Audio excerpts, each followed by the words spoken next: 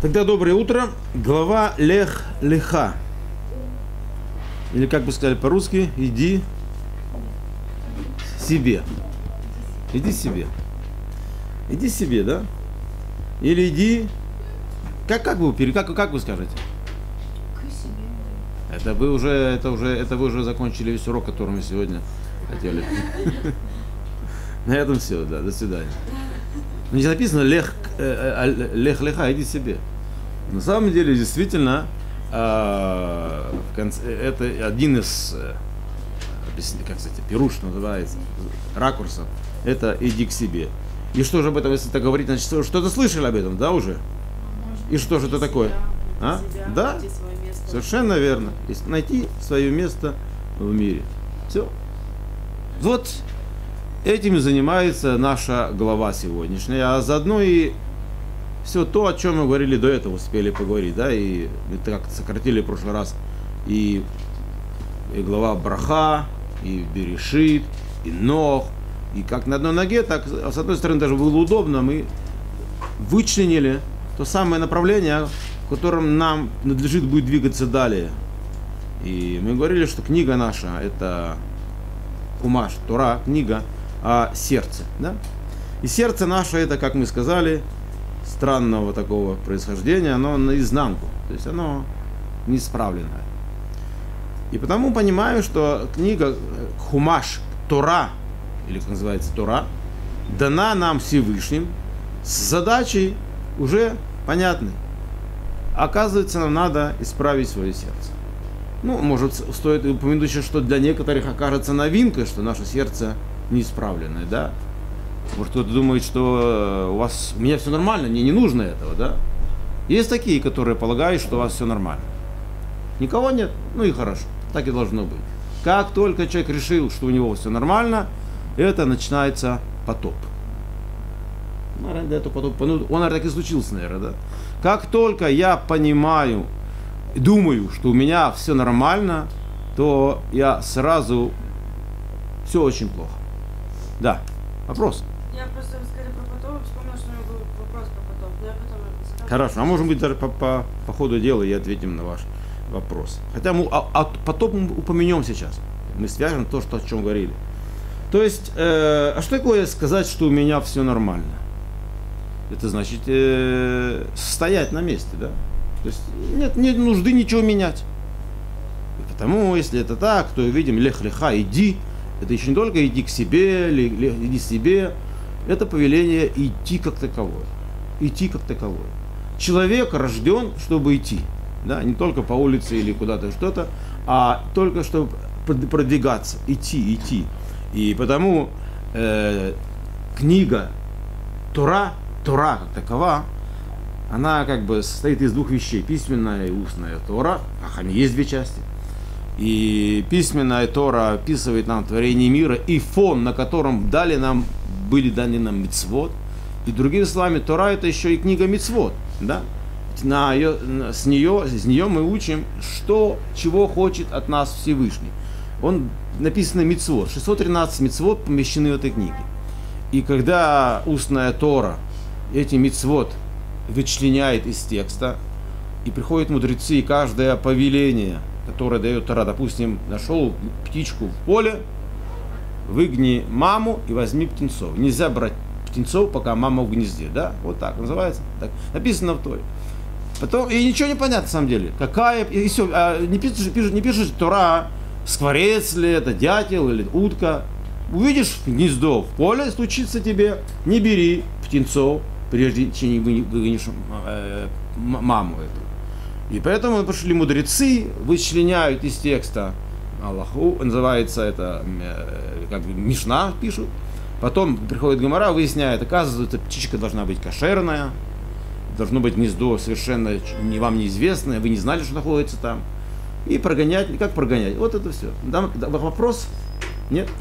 И все. Почему эта маленькая история, как делается? Потому что называется это потом вот Аллаха. Потом есть Шуханарух, и написано Аллахат номер такой, как правильно сделать мецву шило окен. Прогнать птичку из гнезда. Называется будет Аллаха. И весь свод Шуханарух называется Аллаха.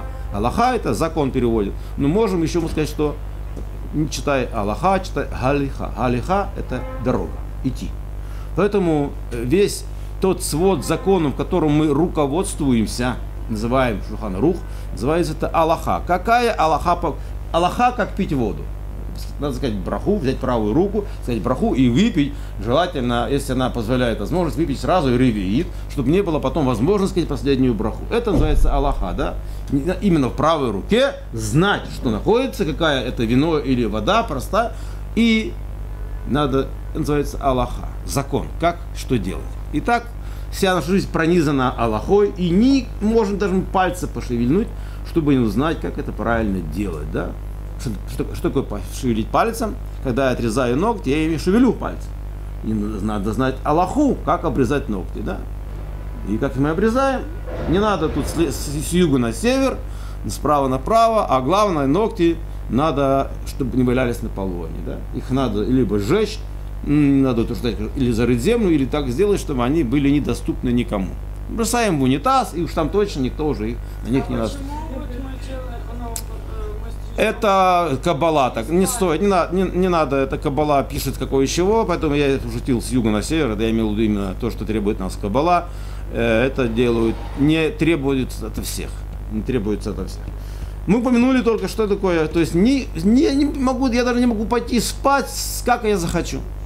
Вот сбрело мне спать и свалился. Нет. Выходит Аллаха и говорит, спать надо правильно. Как, как правильно спят? Засыпают на левом боку, а как уснули, сразу направо переворачивайтесь. Можете так, уснуть, проснуться и перевернуться, да?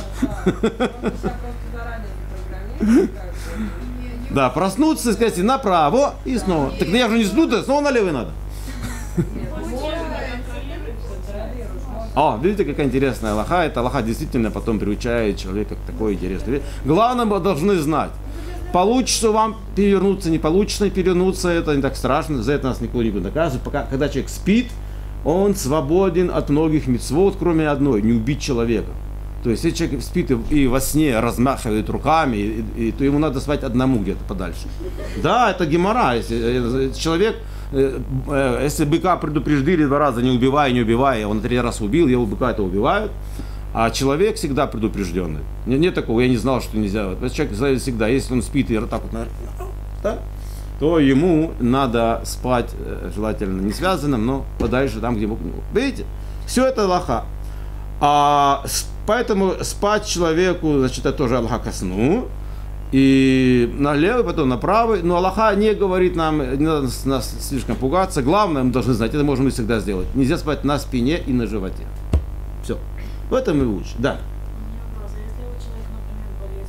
Конечно, когда человек больной, ему разрешается все, даже ездить в шаббат в больницу. Только в больницу, обратно нет, если выздоровел. То есть называется пикуах нефиш. Там, где опасность здоровью, жизни человека, Тора отступает, все свои требования снимает по одной причине. Торе не нужны трупы. Торе нужны люди, которые будут ее исполнять. Поэтому, как только возникает опасность, мы все Аллахот не прерываем. Все.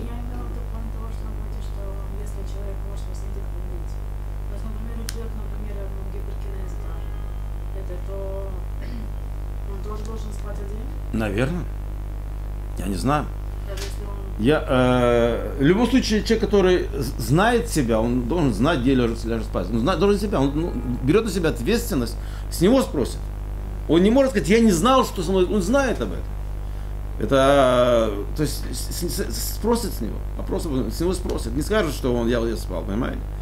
Как же так? Должен был знать. Э, Итак, только мы для того это и говорим, все это Аллахот, мы не пришли учить Аллахот, а только упомянуть, что слово Аллаха это Алиха, это движение. А, собственно, наша глава требует от нас движения. Э, И мы сказали, и туда все получается, складывается так. Лех леха, иди к себе. Вся наша жизнь движение. Движение это Аллаха, Алиха. Как-то двигаться соблюдением мицвод. Да? И так как вся наша жизнь пропитана в каждой мелочи, нет ничего, ну еще раз, возьмите труд, найдите какую-нибудь область деятельности, и там на вас, для вас будет описано Аллаха, как это правильно сделать. Да? Несколько звучит скучновато, да неужто вот так вот пристально за мной наблюдают, хочу сказать, что да. И только так, оказывается, при пристальном наблюдении за мною, с небес и возможно э, сделать то, чем мы занялись с книгой Берешит. Сделаем человека, да. Мы сказали, на себе надам, сделаем человека. И мы сказали в прошлый раз, Всевышний обращается к каждому из нас. Вот я, я Всевышний, ты человек, мы сейчас из тебя сделаем человека. Хочешь? Хочу. Ну и начали, да. Для этого надо нам делать мецвод. Дорога мецвод. Все. Это, кстати, э, первое, так, некое полувступление к нашей главе Лехлиха. Мы поговорили о названии, что такое Лехлиха, и выяснили, что согласно этого «иди к себе», «иди вообще», это установка наша, нашего самостроительства. Мы так не строим себя. Это нельзя стоять на месте. Тот, кто стоит на месте, сразу же не считается, что он нейтральный, а любое стояние на месте его сносит обратно. Сразу будет поток. И поэтому нельзя сказать человеку «я достаточно.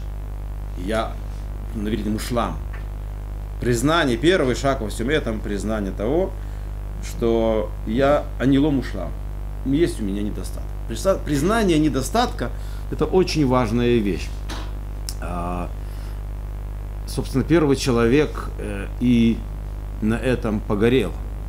Первый человек, которого создал Всевышний, он был весьма счастлив при полном сознании он понимал, что он творение, творение Всевышнего, удостоился быть венцом творения, если так можно назвать поэтически, да? И при всем при этом он не смог справиться с этим. Ему дали руки слишком быстрый автомобиль, и он врезался в столб. Он почувствовал, что это как здорово, я выше комара, я выше слона, я выше обезьян, и вот от этой радости он так увлекся и ударился в столб. Он решил, что он как Всевышний, да, полный. И то, что случилось, когда он откушал это дерево, сказать, вот не ешь от этого дерева, когда откроются твои глаза, и ты будешь как он, как Всевышний, да. И это на этом и погорело. Э, в чем же проблема первого человека? Он отказался от того, что у него есть недостатки. Мы так переводим на наш, наш язык эту, эту проблематику. То есть, а как это, как? Он не, он не сказал, я, вот я праведник, я такой, нет, нет такого текста. Как можно утверждать, что первый человек сказал, что он мушлам, он достаточно? Тем, что он решил, что он как Бог. Он решил как Бог, я как Бог. А что же в этом плохого, ведь сам Всевышний потребовал от него. И мы знаем, что Всевышний от нас требует. По образу и духу своему сотворил он их. Так? То есть мы подобны Всевышнему. Мы ему подобны. Доколе. Знаете, лет 500 назад это выражение, мы сейчас с вами такие все вот продвинутые, что называется, с интернетом, с телефонами. 500 лет назад вы послушали бы разговор дух еврея, вы бы со смеху просто бы не могли встать. Лет 500 назад евреи думали, что у Всевышнего есть руки и ноги. Вот как отстало было человечество. Отсталое было человечество. Потому что по образу и духу, по образу, вот, вот, вот, вот и я вот такой Всевышний. Да. Вот и мы бы смеялись.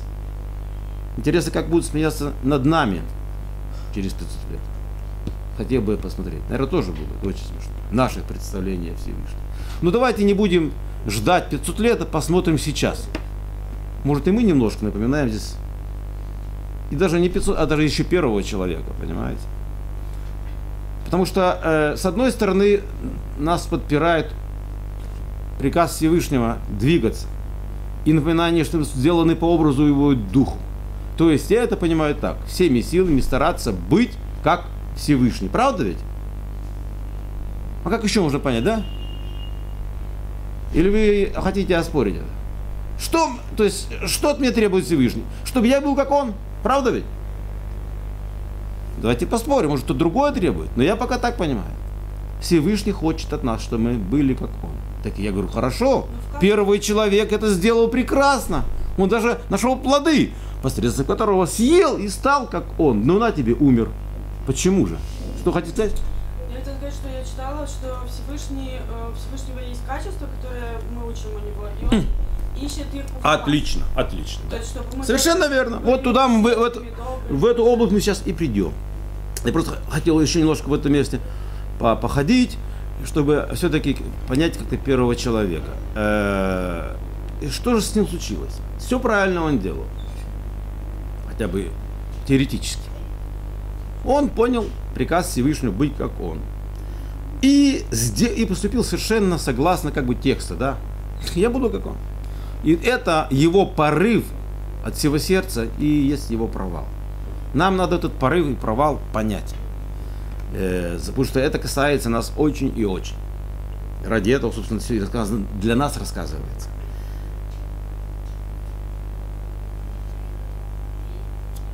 Ну, скажем так, что, в чем вкратце проблема первого человека? Он решил, что как Всевышний, да? Но как раз он не разглядел главного. Всевышний, творя нас, дал нам Тору, и Тора начинается на буковку Бет, о которой мы уже говорили в начале. Берешит. И эта буква Бет, написание на иврите, имеет форму. Ивритские буквы имеют все формы, образы из нашего известного нам. Так, да, э, так э, Гимл напоминает человек, который нагнулся, да, подает, гмилут дает, там, да, гей, дом какой-то, это самое, хет это полный дом накрыт. Алиф это голова, видно быка тут, да, так утверждает. А бет, байт, тоже дом, такой так странно стоящий. У каждой буквы есть свое, своя прорисовка, и через эту прорисовку нам кое-что объясняют. Так вот, буква Бет, именно еще не только то, что книга о сердце. Это буковка Бет в своей форме напоминает скобку, да? То есть, вот отсюда и далее читай – а за этим ничего не поймешь никогда. Вот так вот Всевышний с этого начинает с наш, встречу с первым человеком. Он говорит, смотри, я тебе сделал. Вот отсюда дальше иди и строй, а туда и не гляди. Обратно, вот что-то забудь, не, не, не гляди. А первый человек все-таки настолько он был любознательный. И он все-таки хотел поглядеть туда, да? Вот, а что такое? Он хотел поглядеть туда. Куда это туда? И знаете, у нас есть аллоход. Нельзя, когда коины благословляют, знаете, да? Нельзя смотреть на коину. Слышали, да? Так знаете. А вы знаете почему? Ну, вы это ну, вы делаете, это Аллаха, да? Нельзя смотреть, когда коин, надо смотреть, закрыть глаза, лучше вообще закрыть глаза, накрыть столитом и не видеть. Все у нас все коин стоит, два пальца расставил, столетие и благословляет. Рахашем, все, все, что он делает. Но на эти два пальца нельзя смотреть. Вот сюда. Даже если накрыты. Если еще другая вещь. Храм Зарташем будет построен. Когда был храм, э, Кодыш Святая Святых храма, было интересное приспособление. Люлька, подвешенная на блоках, которая могла спускаться по стенке. Была она построена как наша буковка Бет. Она была открыта к стене, а сзади было все закрыто. Для чего? И надо было храм. Храм это тоже из дерева и камня. Дожди, штукатурка отваливается. Надо делать ремонт. Брали э, маляра, запускали в эту люльку, и он опускался и делал ремонт. Он не, он не мог поглядеть, увидеть, что такое Кодаши Кадашим, да? там, где находится скрижали завета. Чтобы он не видел. Потому что это мог видеть только Коин Гадоль, большой коин в Йом-Кипур. Раз в году один из человек мог видеть. И то не каждый раз он оттуда выходил живой. Да? Вот. Это как раз то, что Машарабейну, помните, мы когда прощались с Машарабейну, встретиться снова с ним, сказали, что вот Всевышний это был особый человек, которого больше не было и не будет. В чем же особенность этого человека? Всевышний, он смотрел ему все показал Он видел Всевышнего глаза в глаза. То есть Машарабейну мог смотреть на все творение. И ему не грозило. А в первой встрече, кто помнит Машарабейну со Всевышним, Всевышний Машарабейну говорит, покажи меня, чтобы я мог тебе служить. Помните? Читает, кто-то помнит текст. В Шмот, да? Когда у Итро работает. Покажи мне себя. Всевышний не может меня увидеть человек и остаться живым, отвечает. Да? Видите, в этом есть опасность. Смерть.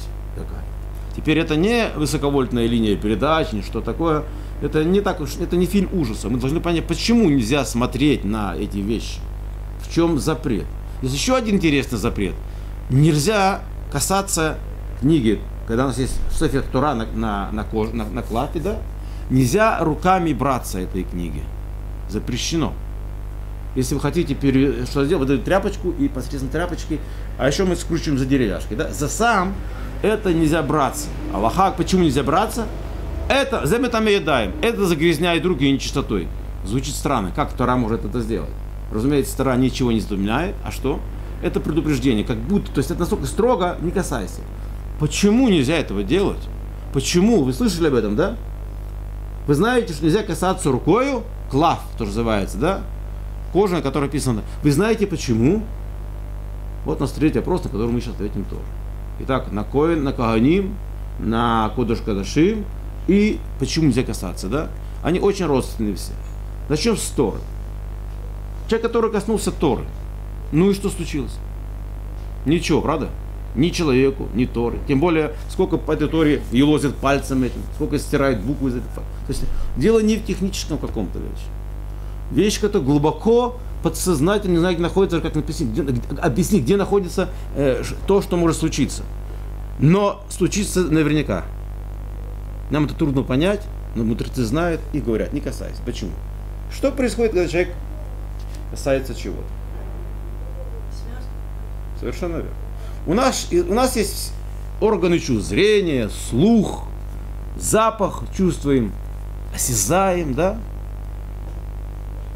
Все эти вещи, мы как-то уже упоминали, может быть, через это ворота наши, через которые мы общаемся с миром, так ли, да? Через запах, зрение, ощущение, вкус.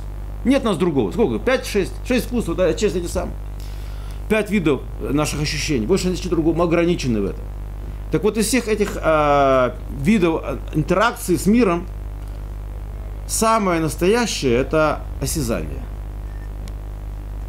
Об этом как-то, кто с вами был раньше, мы говорили в книге Таня.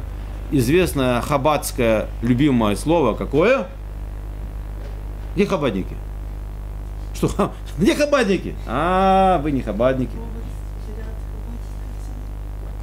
Как говорят хабадники? Мамаш.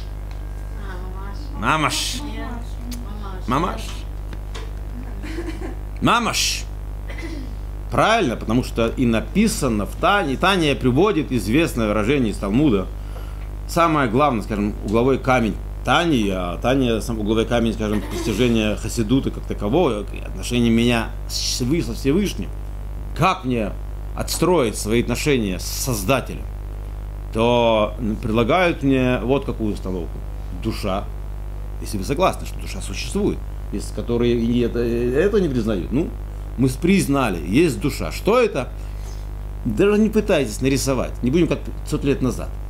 Есть такая вещь, как душа. Что такое душа? Все спрашивают, да? Ученые уже умудрились даже взвесить это и даже сфотографировать, говорят. Почему вот люди некоторые соглашаются с тем, что вот, допустим, есть чувство любовь?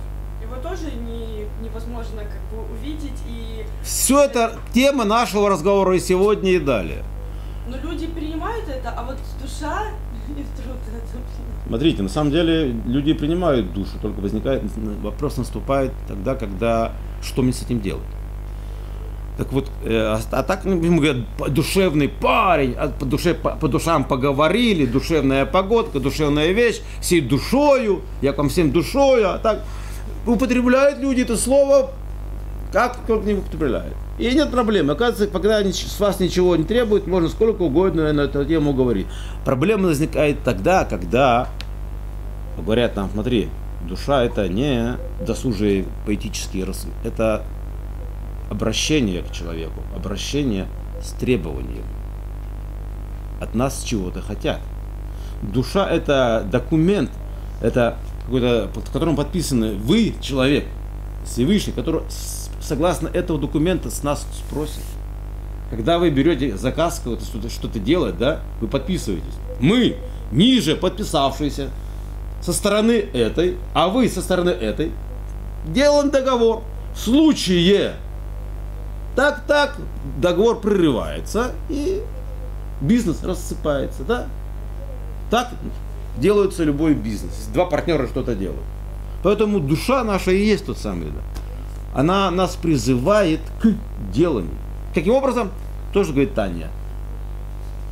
Что такое душа? Вопрос был задан, и уже как только появился человек, и сразу мы ответили.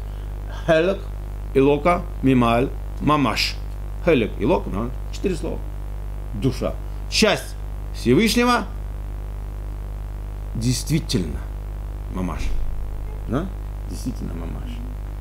То есть, и, а вот слово мамаш, оно здесь очень важно. Если я скажу, моя душа это часть Всевышнего. Ну, что на деле как-то странно, что я еще сижу на стуле. Я, в принципе, должен свалиться, понимаете? Как это? Как это? Я часть Всевышнего?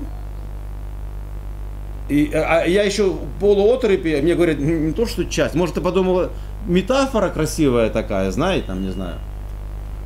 Мамаш, действительно. Потому что есть люди, которые это как поэтично принимают. Мы часть всего целого. Красиво, да? Я часть всего целого. Часть, часть. Это досужное рассуждение для поэтов. Поэты могут сколько угодно писать красивые стихи, а в жизни делают совсем другое. Так любой поэт и поступал. Нормально. А вот это мы же не занимаемся этим досужим делом. Наша задача другая. Душа человеческая, когда это мамаш действительно. То есть это, говорит, смотри, это не, не шутка. В тебе часть Всевышнего. И что? А тебе вот и что. Сюда что ты не делаешь, знай. Часть Всевышнего делает это тоже. Представляете? Человек пошел воровать. И, вся, и Всевышний, часть Всевышнего ворует тоже. Человек кого-то страшно оклеветал. Это часть Всевышнего клевещет тоже. И говорят нам комментаторы Натанию, это похоже на что? Взять царя за волосы и головой его в унитаз. Вот что должен чувствовать каждый человек, когда он делает, не про нас бы сказано, какой-то промах, преступление, грех называется. Взять человека, голову царя и в унитаз. Хелек и локами маль мамаш. Часть Всевышнего мамаш, действительно, вот это слово мамаш, в иврите слово мамаш действительность, то есть это, это не, сколько не моргайте, это останется, понимаете? Я могу сколько угодно показаться, не показалось, это все, это маячит передо мной, все, не обойти никак. Это и есть. Это факт, которым мне теперь жить всю свою жизнь. Теперь это меня только что обязывает. Что? Жить так, чтобы оправдать это присутствие Всевышнего во мне. То есть жить только той дорогой, которую мне он скажет. Чтобы я не пускал эту голову, а было как полагается. Именно через слово мамаш. И поэтому мы сказали, а как мы шли это слово мамаш? Наше чувство. Мамашут. Мишуш. На иврите это одно и то же. Вот осязание это тоже слово. Осязание. Поэтому мы хотим пробовать. Потому что зрение может обмануть. Я вот сейчас нужны очки, чтобы разглядеть на персону. Даже если я, мне будут очки, мне может запросто... Э, есть галлюцинации зрительные, короче. Есть слуховые галлюцинации, да? Теперь уже много достигли, вот сделали много галлюцинаций вкусовых. Чай со вкусом этого, вкуса с этим, все. Все можно подделать, понимаете? Кроме одного чувства. Когда я беру что-то в руки, я даже не глядя, скажу, это пластик, понимаете? не глядя, мне надо глядеть. Я, и не, уже не переубедишь меня, что это железо. Ну, ну, понятно. А я могу сейчас на этом пластике нарисовать маленькую полоску, и она будет как железный казаться. Художники умеют запросто это делать. Да? Это называется мамашут. Поэтому, и когда я что беру рукою, я чувствую, это оно.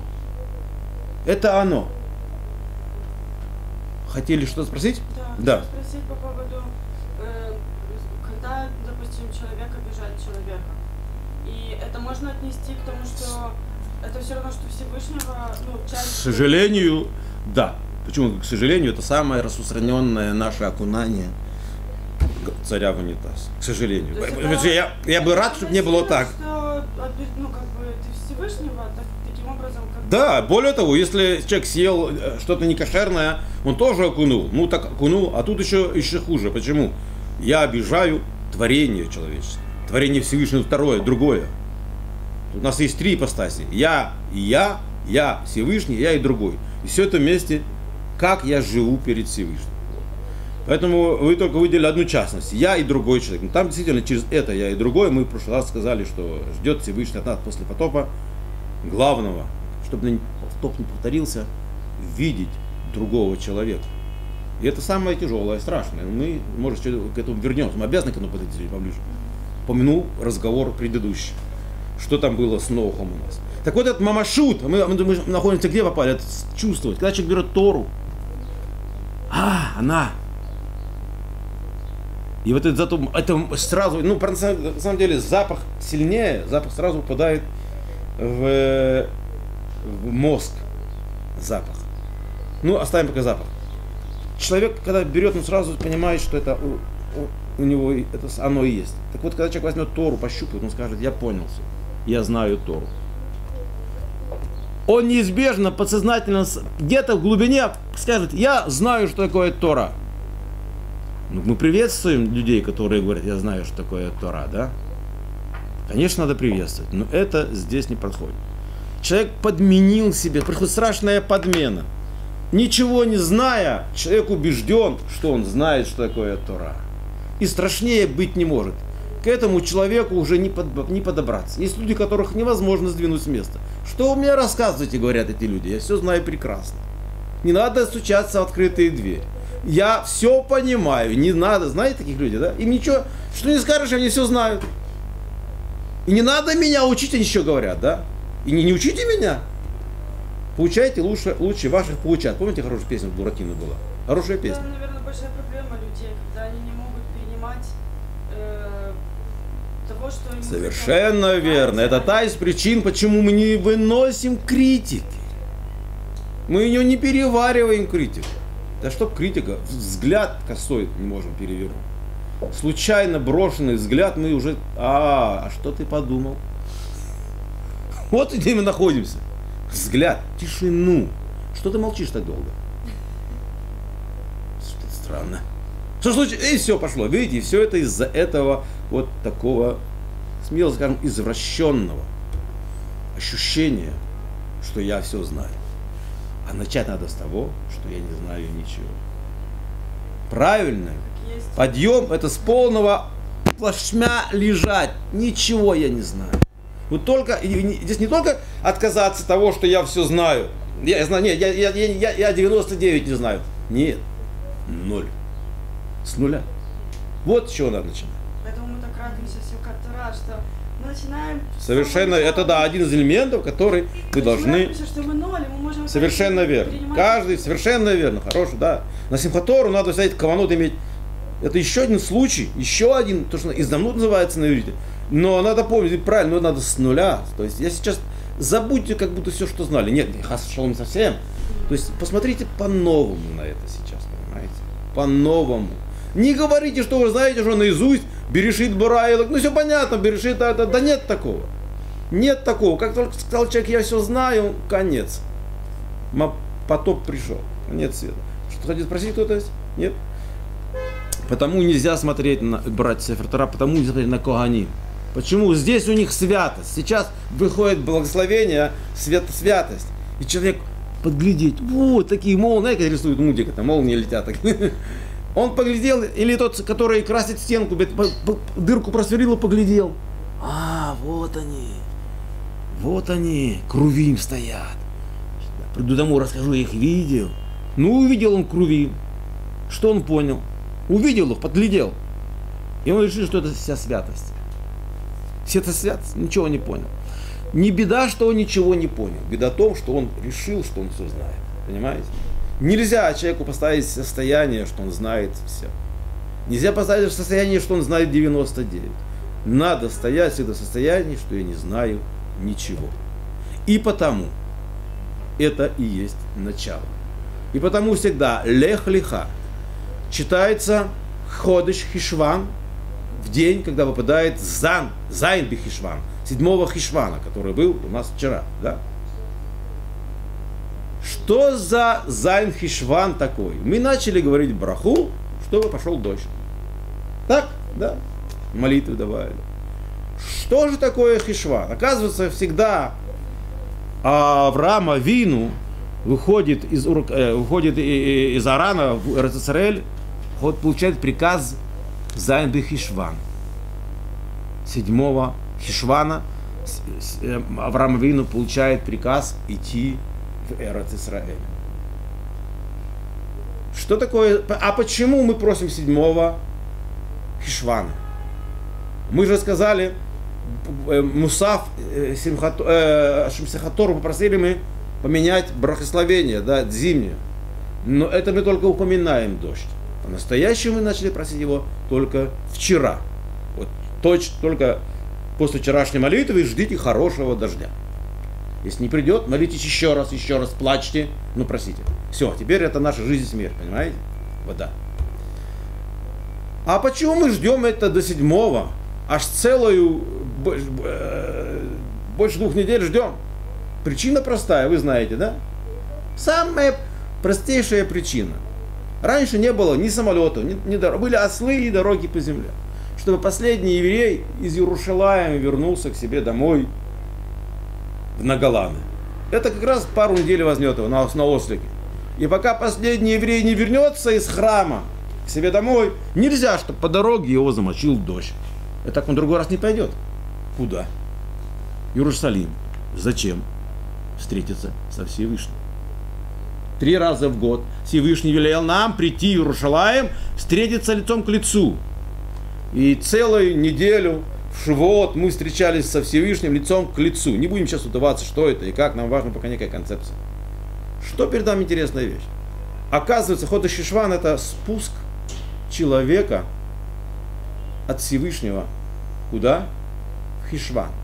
Хишван это самый-самый-самый-самый темный месяц. Знаете, да? Мы с сыном вышли э, после праздника, отмолились Марьев, Симхатора, выходим, и сын говорит, все, нет праздника. Впереди 30, больше, 40, сколько дней до Хануки. Ни праздничка, ничего. И в Кислев, еще почти весь Кислев ничего не будет. А весь Хишван темень. Она такая, такая темень так и есть. То есть день все короче, короче. Обратили, как он короткий день? Сейчас смотрите, через два часа уже почувствуете, солнце такое боковое. Так первый человек увидел. Он родился, когда его сделал, он увидел заходящее солнце. О, конец света. Все меньше, и мы погружаемся в темноту, самое что ни на есть, космическую, физическую, биологическую и духовную, наверное, тоже. Потому как планеты вращаются по разному принципу. Наверное, заложен какой-то принцип духовный тоже, вращение планет. Не то, что мы, созерцая их, учимся чему-то, просто это как некие указатели на дороге. Сейчас скоро будет Тель-Авив, да? Значит, надо, такие, это некий указатель.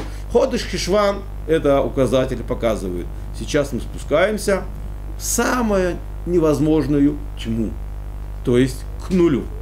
Понимаете? К нулю, тому самому спускаться к нулю. И вот поэтому оказывается, ну как же так, получается, мы читаем глава Лех Леха в момент самого нашего тяжкого падения в темноту и пропасть. И это одновременно самая красивая и мощная после страшных э, этих э, глав, понял сказать, Берешит страшная глава, но она страшнее разворачивает трагедию еще больше. И после этого приходит красивая Лех Леха, где Авраам Авину получает приказ идти в Израиль, где с ним произойдет то, что произошло. Народы благословятся через него, народ откроют Всевышнего, и начнется великая эпопея, эпоха Авраама Вину, эпоха выздоровления человечества и роста человечества. Это будет Авраама Вину, эпоха милосердия начнется. Тора. А и получается интересная вещь. Мы начинаем Лех Леха читать в самый тяжелый момент. Почему? Это все понятно становится. Вы хотите роста? Да. Начните именно так, с нуля. С кромешной тьмы. Именно с этого нуля. Это то, что не смог сделать первый человек. Он сказал, мне не надо ничего. Я сто процентов. Сто процентов. И он решил, что дальше в этом нечего в этом мире делать, больше сказал Всевышний. Ну хорошо, попробуем. И только отошел он от него, на, и пошло. Погибает сын, потом так, потом так. И это то, что случилось, случилось. И потоп как таковой, да, потом. Это э, вторая часть разговора. Теперь а мы же с вами говорим о том, что... А, Да, Это получается, что после Симхатура сразу была глава э, Ноах. Да, да, но, но иногда может варьировать. Получается, что это как бы полностью как бы был действительно ноль. Ну, то есть Но начало, мы об- об- называется обнулить. Обнулили все. Да. Нам надо что-то... И, по- и потоп все обнулил, понимаете? Все было обнулено. И что-то, и как бы сам Всевышний, Боже упаси, э, так и сказано, и потом читаю, и, и вскорбел Всевышний, что так поступил. Спрашивают не евреи в Гимаре, а что вас Всевышний не знает, что ты поэтому говоришь, не знаешь, что он сделал? Нет. Всевышний не сожалеет, что он сделал этот мир. Но этот, это выражение, как будто сожалеет, дает нам только одно ощущение, что мы окончательно абсолютно свободны, понимаете? Насколько свободны? Мы свободны абсолютно даже разрушить мир. Понимаете? Я могу дома держать собачку, но я не позволю ей рвать мои кресла, понимаете? Я позволю ей кувыркаться, но я не позволю ей ломать мои окна. Всевышний дам волю, да, вы спросите, а докуда я свободен? Спросите, да, сколько у меня свободы есть? Я вам скажу, до разрушения мира. Человек может разрушить мир. И оказывается, вот именно так нас с вами и создал Всевышний. Наша свобода бесконечна вплоть до разрушения мира. А если нас кто-то будет придерживать, не дать это, тогда я не буду называться человеком. Если у меня нет возможности разрушить мир физически, понимаете, тогда я не человек, я ангел, который знает свои пределы, как бабочка знает свои пределы. Тогда никакой разницы нет между мною и другим творением. Вся разница между мною и другими творениями в том, что я могу, Боже упаси, разрушить мир. Представляете? Новость неприятная, правда? С другой стороны, как здорово. Значит, вот тут-то мы дошли до той границы, что я действительно в состоянии, тут я похож на Всевышнего, да? Всевышний тоже семь раз творил, разрушал, творил, разрушал. И я могу разрушить мир. Всевышний говорит, да. Ну, можно упасть со стула снова, да? Как это? Да, Всевышний говорит, человек может разрушить мир. А как же мы еще живы? Если бы мы знали, как мы еще живы, если бы знали точно, как мы еще живы, мы сделали одно интересное действие. Мы бы взяли всех евреев посадили в Бет-Мидраш, поставили казака с огромной саблей наружу, чтобы ни один еврей нос оттуда не высунул из Бет-Мидраш, учил Тору.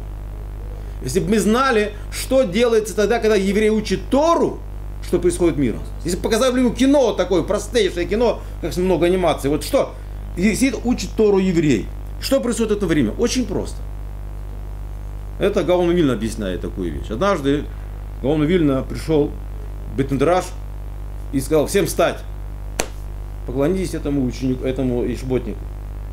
Он говорит, ишботник, за что? Поклонитесь. Когда все стали поклониться, ну, не знаю, поклониться, что сделали, приветствовали, не, не знаю точно, было там. Рэб говорит, а что было? Сегодня ночью он спас мир. Как? Я уснул, а он же великий Гаон Вильна. Его сны не наши побрякушки. Кажется, он на него посмотрел. И он видит, и я, он, и я узнал во сне, что сегодня случилось странное во всем мире. Как-то случ... бывает странные стечения обстоятельств, бывает. Чего не бывает на свете. Я раз встретил знакомого в неизвестном городе, который не должен быть даже там. Да, как, как столько, ей надо быть, насколько надо встретиться вот так вот, вот, вот так вот тонкость случится. Такая невероятность, ну случается. Ну случается. Математики объяснят, как это происходит, вероятности эти. Сколько, на сколько миллионов вероятно, что случилось это. Так вот, ту ночь случилось так, что все евреи уснули. Представляете? Не днем, ночью. И когда все евреи уснули, вдруг земля стала крениться. Она стояла на трех китах, знаете, да? Плоская, на трех китах, да? Или круглая. И она стала крениться, крениться, и начала из нее же сыпаться на пол. Ну, как стол, ты сейчас нужно вот полить его. Все, она жила. И все, конец, то называется хаос, того вовов. Только что вернулся. И вдруг все вернулось обратно.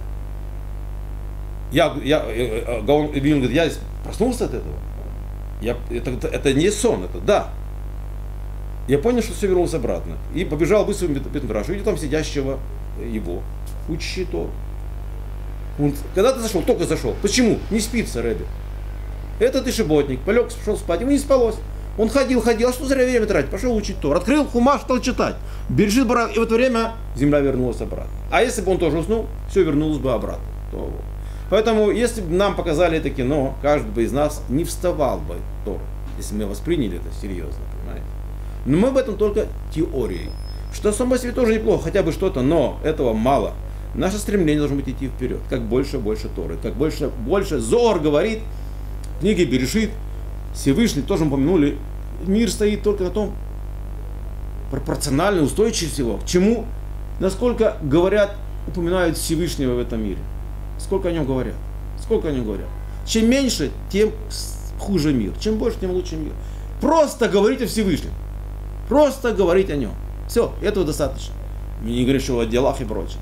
Поэтому, если нам все это показали бы, мы бы, конечно, согласились бы, и запросто было бы нам легче. Но мы этого не видим. А все, что нам остается, положиться. Но и тут даже не такая вся проблема. Мы же начали разговор, не все так все просто, э, очень непросто. Потому что наш разговор все-таки остался в каком месте. Э, ну хорошо, из низкого подняться, искать. А есть еще одна вещь.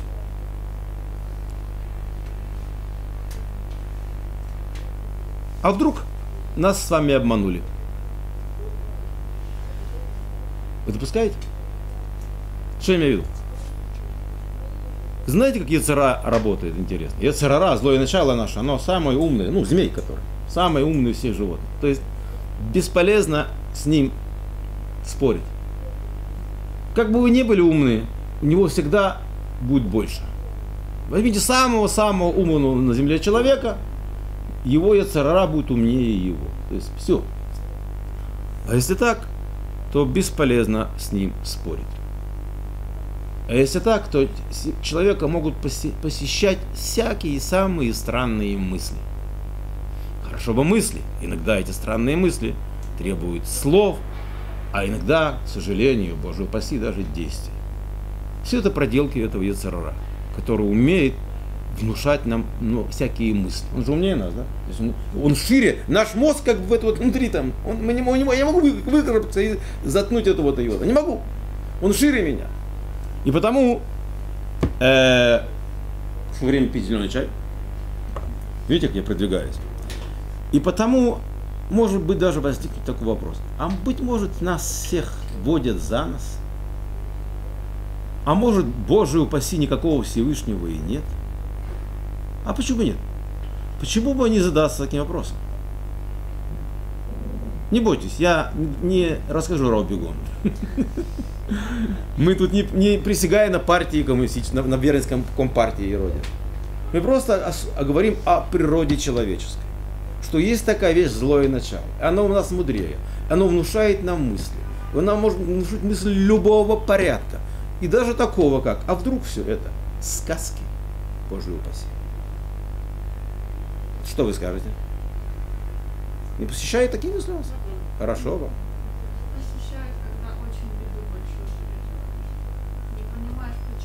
Совершенно верно. Дай Бог вам ничего этого не переживать, не ощущать. Но иногда человек теряет ощущение. А иногда же без, кра... без, без крайностей. Человек думает, «А, простая-простая вещь. А с чего вы взяли правду, что он есть? Кто-то видел его? Вы знаете, что никто не видел его? Никто.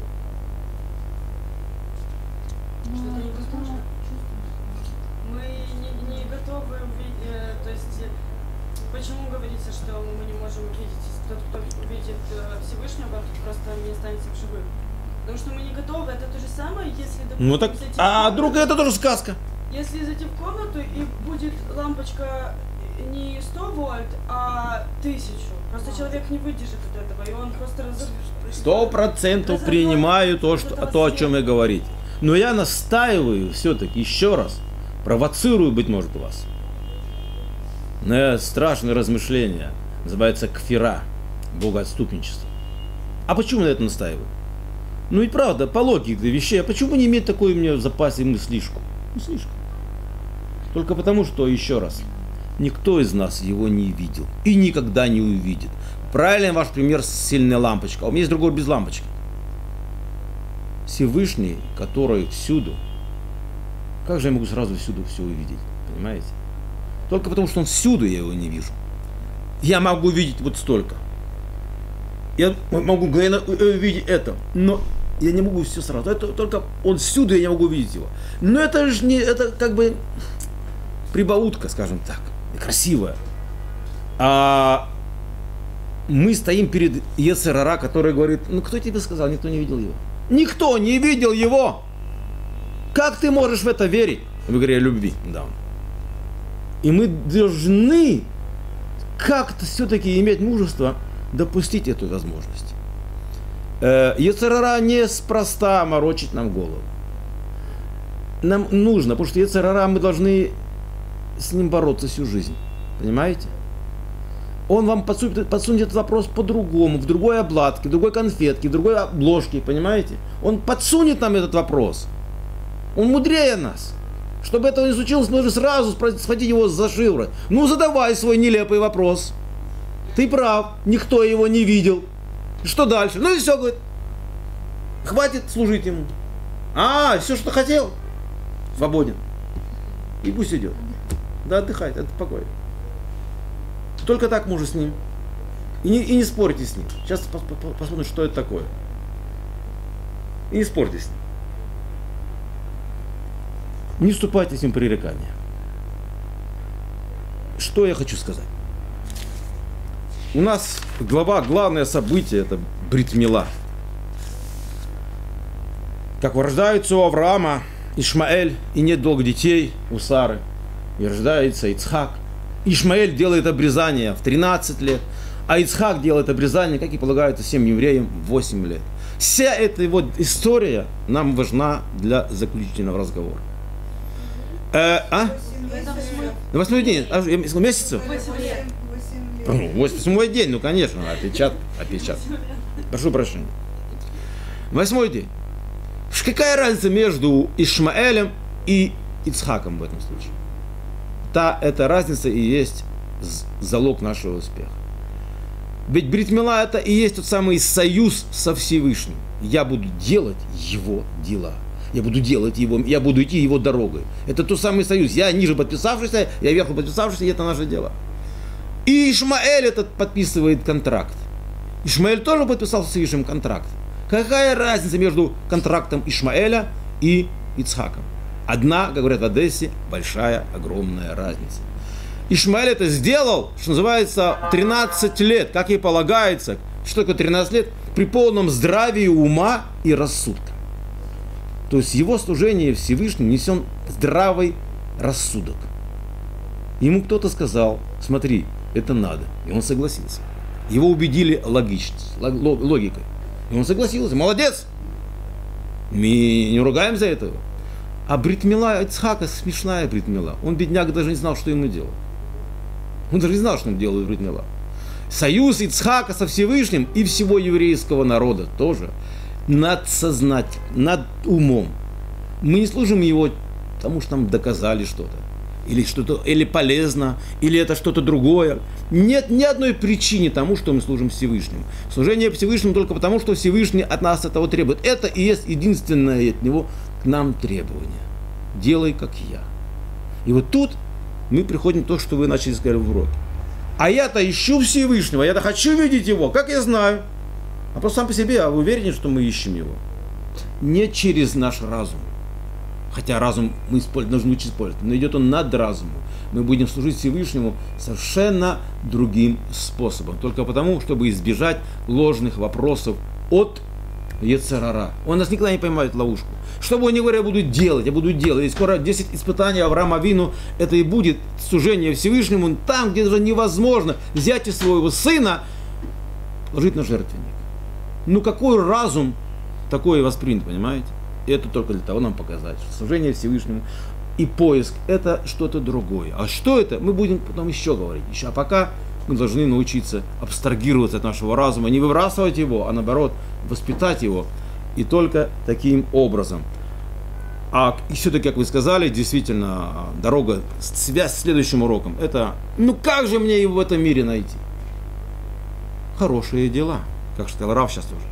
Хорошие дела. Авраам Вину делает хорошие дела.